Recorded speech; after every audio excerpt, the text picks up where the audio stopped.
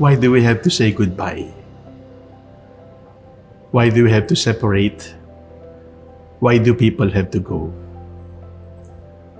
All goodbyes are painful because every goodbye is a reminder for us that there will be one final goodbye and that one final goodbye we call death. Death is painful.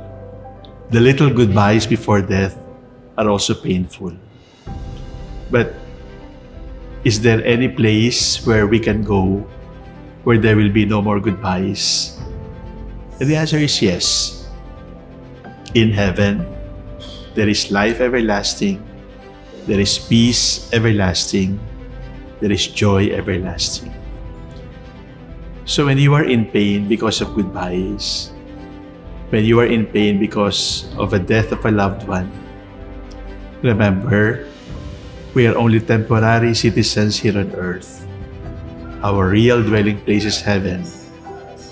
And in that place waiting for us, there will be no more goodbyes.